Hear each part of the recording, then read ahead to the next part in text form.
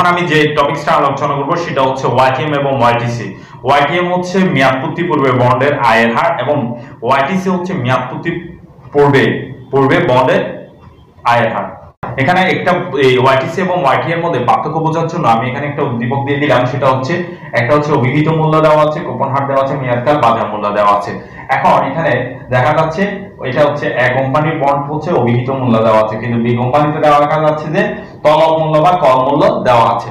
আচ্ছা তুমি পরীক্ষা প্রশ্নে যখন ডিফারেন্স মানে হচ্ছে ওয়াইটিসি করবে নাকি ওয়াইটিএম করবে, সেটার জন্য তোমার যদি দেখো যে তলব মূল্য বা কল মূল্য দেওয়া আছে, তাহলে ধরে নিবা সেটা ওয়াইটিসি ঠিক আছে? তাহলে যে অঙ্কের মধ্যে তলব মূল্য বা কল মূল্য দেওয়া থাকবে, সেটা ধরে নিবে, কি কি কি ধরে নিবে, তাহলে সেটা হচ্ছে আমাদের জন্য ওয়াইটিসি এরপর হচ্ছে সবকিছু ঠিক থাকবে, তোমার মেয়াদকাল ঠিক থাকবে, বছর বা এগুলা অ্যামাউন্ট বলে ঠিক তাহলে আমি প্রথমে এ নাম্বারটা আমি সলিউশন করি, সেটা হচ্ছে এ নাম্বারের মধ্যে দেওয়া আছে, দেখো, তাহলে এক কোম্পানি বন্ড করি এক কোম্পানি এক কোম্পানির মধ্যে দেওয়া আছে, কি কি দেওয়া আছে? দেওয়া আছে দিয়ে আগে লিখি, দেওয়া আছে দিয়ে প্রথমে হচ্ছে তোমার অভিহিত মূল্য দেওয়া আছে। কি মূল্য? অভিহিত মূল্য। তাহলে অভিহিত মূল্যকে যেটা বলা হয় ম্যাচুরিটি ভ্যালু মানে হচ্ছে দুই হাজার টাকা। এরপর হচ্ছে কি দেওয়া আছে? কুপন রেট কুপন রেট হচ্ছে কত পার্সেন্ট এগারো পার্সেন্ট কিসের উপরে এগারো পার্সেন্ট দুই হাজার টাকার উপরে। তাহলে হচ্ছে দুই হাজার টাকার উপরে আমি এগারো পার্সেন্ট হিসাব করি। তাহলে যখন আমি এগারো পার্সেন্ট হিসাব করব, তখন আসবে আমাদের দুইশো বিশ টাকা এরপর হচ্ছে মেয়াদকাল এন এন এর মান কত? পনেরো বছর। আচ্ছা এরপরে লিখলাম কি? বাজার মূল্য, যেটাকে বলা হয় সেলভেস ভ্যালু বা বিক্রয় মূল্য, এটা হচ্ছে দুই হাজার একশো টাকা। এটা লিখে ফেললাম। এবার আমাদের করতে বলছি কি? ক নাম্বার কোয়েশ্চেনটা আমরা করব? বন্ডের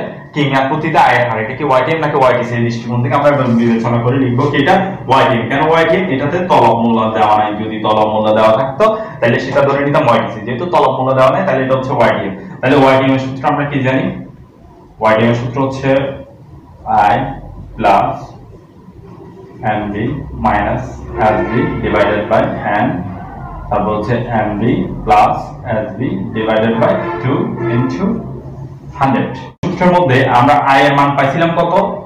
I এর মান পাইছি কত? 220 টাকা। তাহলে হচ্ছে 220 প্লাস হচ্ছে mb এর মান কত পাইছিলাম? Mb এর মান পাইছিলাম আমরা 2000 টাকা। তাহলে এখানে 2000 টাকা লিখে ফেললাম। এরপর মাইনাস সাইন sb এর মান কত পাইছিলাম আমরা? 2100 টাকা, যেটা উদ্দীপকের মধ্যে পাইছিলাম। এরপর এন এর মান কত পাইছিলাম? পনেরো বছর। এখানে পনেরো লিখলাম। আচ্ছা পনেরো লিখলাম। ঠিক আছে? এরপরে নিচে কি? MD plus SB divided by two তাহলে এমবি এর মান কত? আমরা জানি যে এমবি এর মান হচ্ছে তোমার দুই হাজার টাকা। আচ্ছা দুই হাজার লিখলাম। এরপর হচ্ছে এসবি এর মান কত পাইছিলাম আমরা? দুই হাজার একশো। দুই হাজার একশো এখানে লিখে ফেললাম। এরপর হচ্ছে দুই দিয়ে ভাগ করতে হবে। তাহলে হচ্ছে আমাদের এখানে সূত্রের মধ্যে আছে, দুই দিয়ে ভাগ করতে হবে, সেজন্য দুই দিয়ে ভাগ করলাম। এবার, এভাবে যদি আমি এখানে পাঠাই ইনটু 100 দিয়ে গুণ করো আচ্ছা ওয়াইটিএম এবং ওয়াইটিসি এর মানটা সবসময় পার্সেন্টেজ হিসাব করতে হবে কিসে? কারণ আয়ের হার বলছে আমাদের, প্রশ্নের মধ্যে বলেছি মেয়াদপতিতে বন্ডের আয়ের হার নির্ণয় করো নামলে মেয়াদপতি পূর্বে বন্ডের আয়ের হার নির্ণয় করো। তাহলে এখানে সবসময় মানটা আমরা কিসে বের করব? পার্সেন্টেজ দিয়ে হিসাব করব। এটা হচ্ছে আমাদের আনসারটা আসে কত? 10.75% সেটা হচ্ছে পরবর্তী অঙ্ক বি নম্বরে বি নম্বরে প্রথমে আমি দেখতে পাচ্ছি এখানে দেওয়া আছে কি তলব মূল্য। তলব মূল্য যদি দেওয়া থাকে, তাহলে এটা আমরা কি করব? ওয়াইটিসি তলব মূল্য দেওয়া থাকলে বা কল মূল্য দেওয়া থাকলে সেটা আমরা কি করব? ওয়াইটিসি তাহলে এটা আমরা ওয়াইটিসি করব। প্রমাণ হার দেওয়া আছে, তারপর হচ্ছে মেয়াদ কালও দেওয়া আছে, বাজার মূল্য দেওয়া আছে। এবার আমরা দেওয়া আছে দিয়ে লিখতে পারি বি বন্ডের মূল্য দেওয়া আছে দিয়ে লিখলাম কি? দেওয়া আছে। দেওয়া আছে দিয়ে লিখলাম প্রথমে হচ্ছে তলব মূল্য যেটাকে বলা হয় সিপি কল প্রাইস মানে হচ্ছে দুই হাজার দুইশো টাকা, ঠিক আছে? এরপর হচ্ছে এগারো পার্সেন্ট হার। হার এগারো পার্সেন্ট কিসের উপরে? তলব মূল্যের উপরে এগারো পার্সেন্ট তাহলে হচ্ছে এগারো হিসাব করব দুই হাজার দুইশো টাকা দিয়ে ইন্টু ইলেভেন পার্সেন্ট মানে হচ্ছে দুইশত বিশ টাকা, ঠিক আছে? দুইশো বিশ টাকা। এরপর হচ্ছে নাম্বার অফ পেয়ার এন এর মান, বছর সংখ্যা। তাহলে হচ্ছে বছর সংখ্যা হচ্ছে নয় বছর, ঠিক আছে? এরপর হচ্ছে এসবি মানে হচ্ছে ভ্যালু বাজার মূল্য। ভ্যালু হচ্ছে দুই হাজার একশো টাকা। লিখে ফেললাম। এবার আমরা জানি ওয়াইটিএস ওয়াইটিসি এর সূত্র কি? আমরা জানি আমরা জানি। আমরা জানি ওয়াইটিসি মানে হচ্ছে কি? I plus CP minus NSB SB এখানে যেহেতু অঙ্কের মধ্যে আমাদের বাজার মূল্য দেওয়া আছে, তাহলে এসবি লিখলাম। তারপর হচ্ছে এখানে লিখলাম N CP plus SB divided by two তাহলে হচ্ছে এখানে প্রথমে আই এর মান কত আই এর মান আমরা জানি যে 220 টাকা লিখে ফেললাম এরপর সিপি এর মান কত সিপি এর মান আমরা পাইছিলাম কত 2200 টাকা লিখে ফেললাম এরপর এসবি এর মান কত আমরা জানি এসবি এর মান হচ্ছে দুই হাজার একশো টাকা লিখে ফেললাম এরপর এন এর মান কত দেওয়া আছে এন এর মান দেওয়া আছে হচ্ছে তোমার এন এর মান আমরা এখানে বের করছিলাম কত নয় বছর তাহলে এখানে লিখলাম নয় এরপর হচ্ছে সিপি এর মান কত সিপি এর মান হচ্ছে দুই হাজার এরপর এসবি এর মান কত? এসবি এর মান হচ্ছে আমরা বের করছিলাম দুই হাজার একশো টাকা। তাহলে এখানে বাদ দিলাম কত দিয়ে? দুই দিয়ে। এরপরে এটা কিন্তু পাশে একশো দিয়ে গুণ করতে হবে, আমি যেটা লিখে ভুল করে ফেলছিলাম। আচ্ছা এখানে পাশে কিন্তু একশো দিয়ে গুণ করতে হবে। এরপরে এভাবে যদি আমি যদি এখন হিসাব করি ক্যালকুলেট করি, তাহলে একটা মান আসবে। তা হচ্ছে এখানে দশ দশমিক পঁচাত্তর পার্সেন্ট তাহলে এভাবে তুমি, এই চৌক্তিতে ব্যাপতিতে আয় হার অথবা মেয়াদপতিতে তলব মূল্য ব্যয় করতে পারো। আর এখানে তুমি চাইলে এটা ব্যয় করতে পারো। দোনোটা, যে কোনো একটা ওয়াইটিসি ওয়াইডিএম যেভাবে তুমি সহজভাবে এভাবে করতে পারো।